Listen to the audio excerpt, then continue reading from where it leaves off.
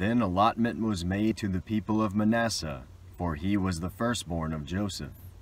To Machir, the firstborn of Manasseh, the father of Gilead, were allotted Gilead and Bashan, because he was a man of war.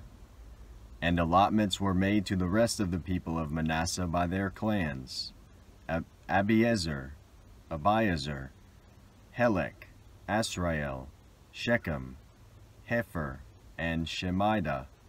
These were the male descendants of Manasseh the son of Joseph, by their clans. Now Zelophehad the son of Hepher, son of Gilead, son of Machir, son of Manasseh, had no sons, but only daughters, and these are the names of his daughters, Mahlah, Noah, Hoglah, Milcah, and Tirzah. They approached Eleazar the priest and Joshua the son of Nun and the leaders and said, The Lord commanded Moses to give us an inheritance along with our brothers. So according to the mouth of the Lord he gave them an inheritance among the brothers of their father. Thus there fell to Manasseh ten portions, besides the land of Gilead and Bashan, which is on the other side of the Jordan, because the daughters of Manasseh received an inheritance along with his sons. The land of Gilead was allotted to the rest of the people of Manasseh. The territory of Manasseh reached from Asher to Michmethath, Michmethath, which is east of Shechem. Then the boundary goes along southward to the inhabitants of En Tappuah. The land of Tappuah belonged to Manasseh, but the town of but the town of Tappuah on the boundary of Manasseh belonged to the people of Ephraim. Then the boundary went down to the brook Kanah. These cities, to the south of the brook, among the cities of Manasseh, belong to Ephraim. Then the boundary of Manasseh goes on the north side of the brook and ends at the sea. The land to the south being Ephraim's, and that to the north being Manasseh's with the sea forming its boundary. On the north Asher is reached, and on the east Issachar. Also in Issachar and in Asher Manasseh.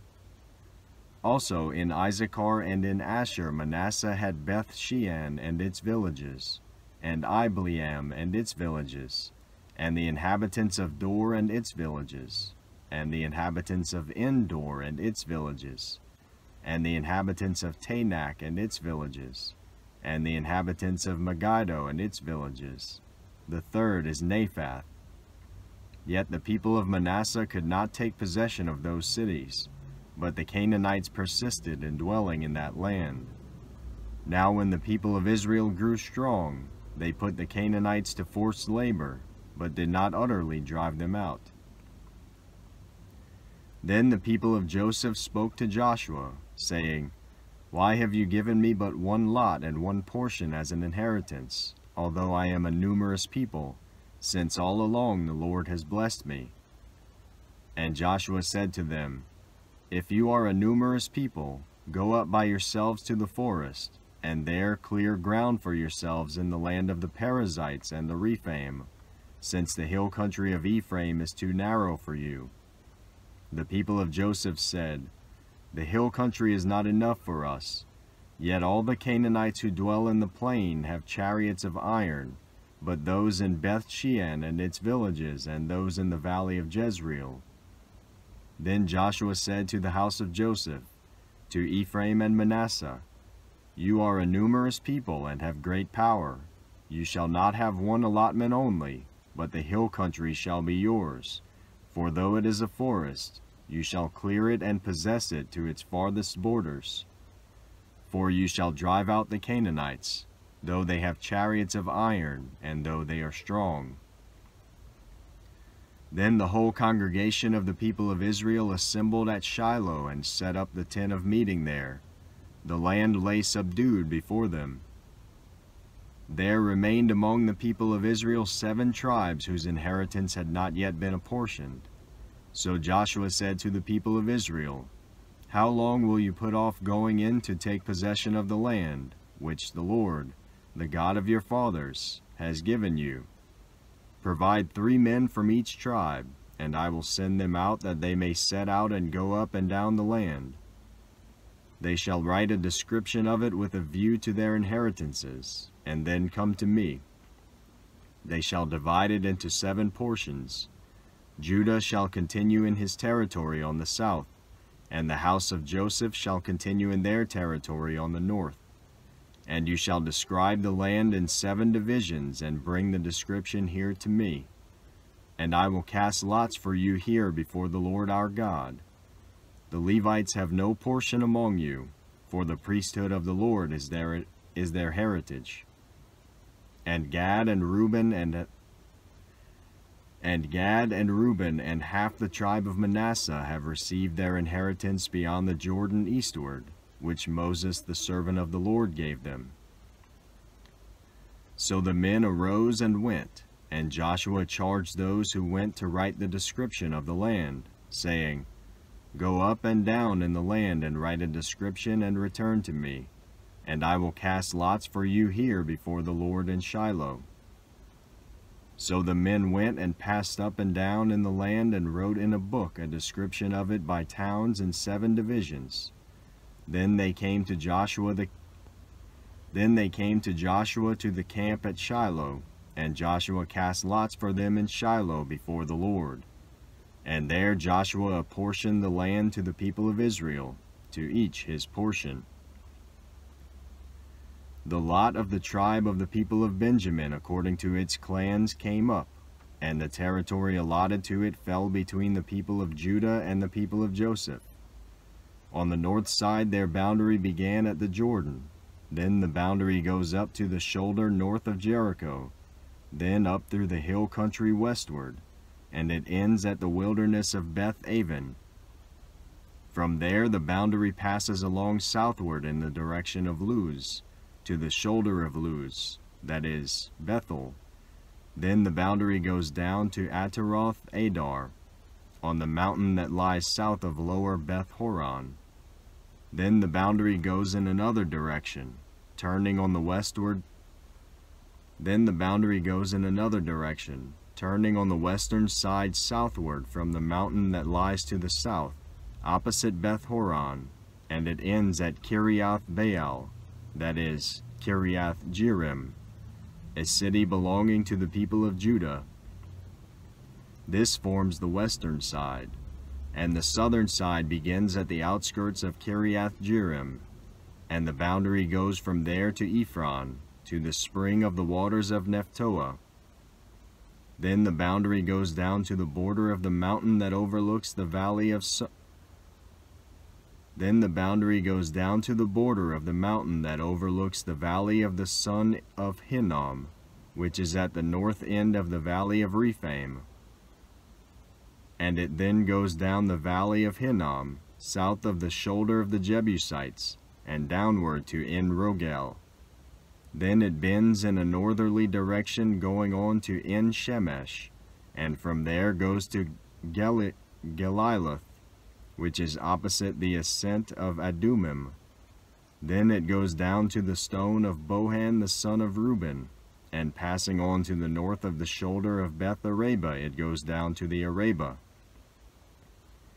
Then the boundary passes on to the north of the shoulder of Beth Hoglah, and the boundary ends at the northern bay of the Salt Sea, at the south end of the Jordan.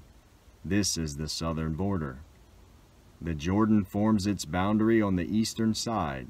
This is the inheritance of the people of Benjamin, according to their clans, boundary by boundary all, all around.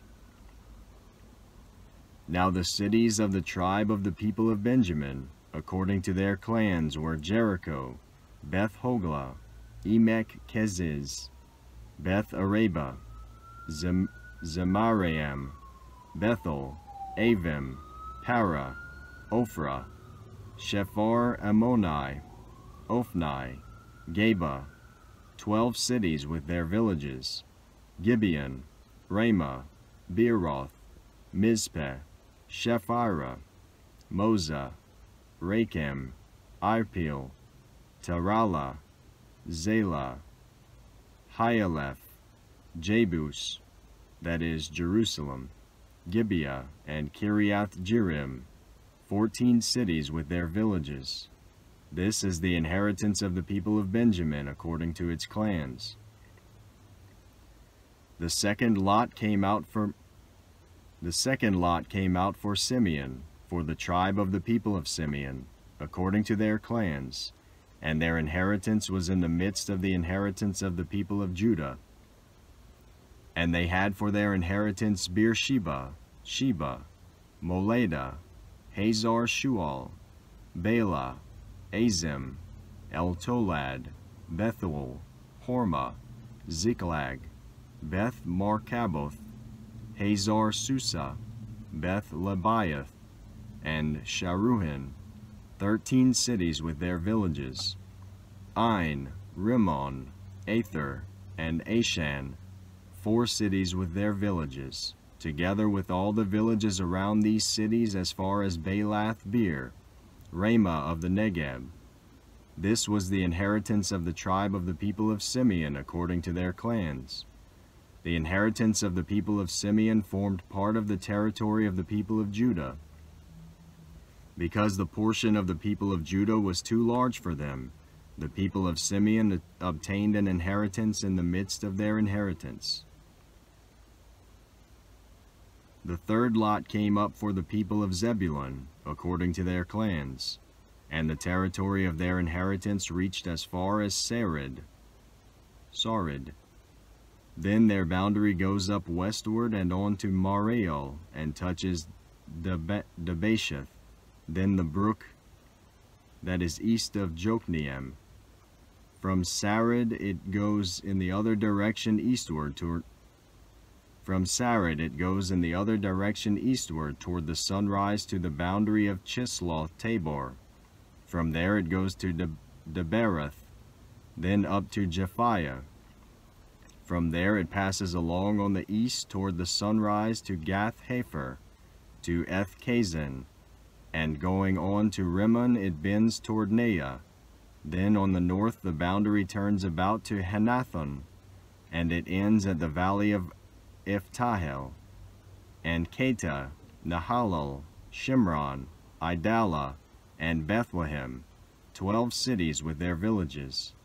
This is the inheritance of the people of Zebulun, according to their clans, these cities with their villages. The fourth lot came out for Issachar, for the people of Issachar, according to their clans. Their territory included Jezreel, Chesulloth, Shunem, Hapharaim, Shion, Anaharath, Rabbath, Kishion, Ebez, Ramoth, En Gannim, En Haddah, Beth Pazzez. The boundary also touches Tabor, Shahazumah, and Beth Shemesh, and its boundary ends at the Jordan, sixteen cities with their villages. This is the inheritance of the tribe of the people of Issachar, according to their clans, the cities with their villages.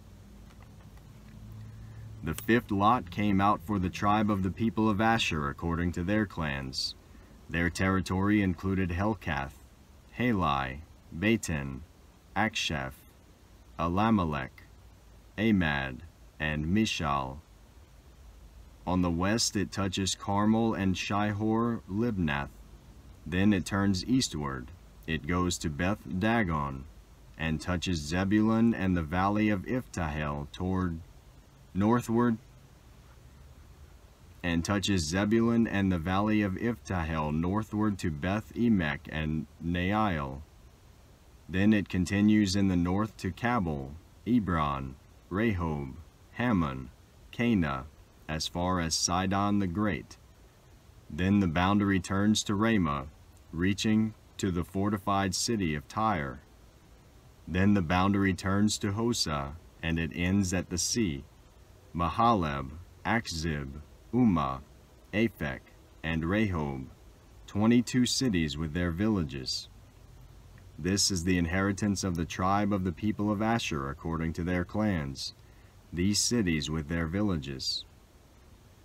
The sixth lot came out for the people of Naphtali. For the people of Naphtali, The sixth lot came out for the people of Naphtali, for the people of Naphtali, according to their clans. And their boundary ran from Haleph, from the oak in Zaanannim, and Adami Nekeb, and Jabneel, as far as Lakkum, and it ended at the Jordan. Then the boundary turns westward to Aznoth Tabor, and goes from there to Hukok, touching Zebulun at the south and Asher on the west, and Judah on the east at the Jordan. The fortified cities are Ziddim, Zer, Hammath, Rakkath, Shinnereth, Adamah, Ramah, Hazor, Kadesh, Edrei, En Hazor, Yaron, Migdal El, Horem, Beth Anath, and Beth Shemesh, nineteen cities with their villages. This is the inheritance of the tribe of the people of Naphtali according to their clans, the cities with their villages. The seventh lot came out for the tribe of the people of Dan, according to their clans.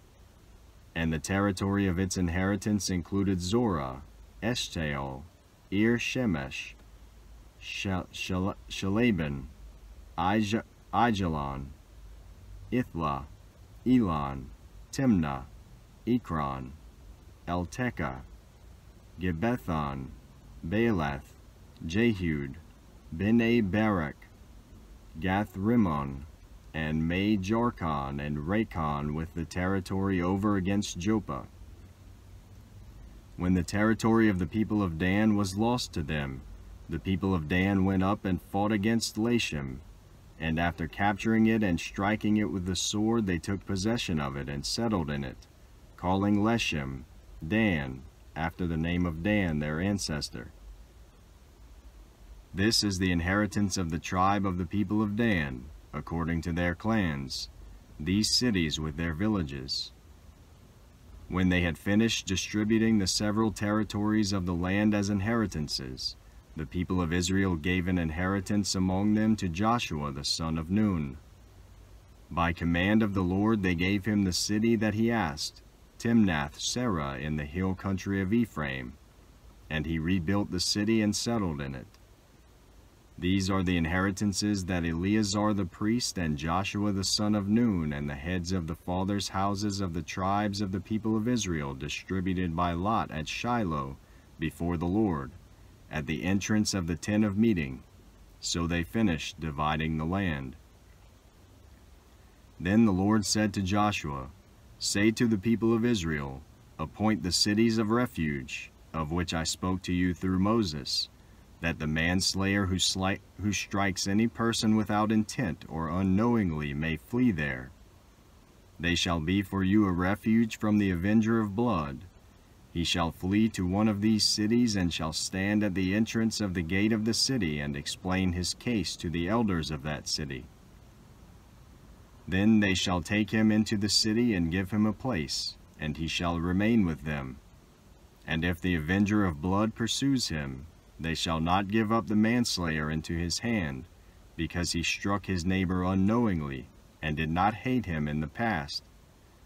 And he shall remain in that city until he has stood before the congregation for judgment, until the death of him who is high priest at the time. Then the manslayer may return to his own town and his own home, to the town from which he fled.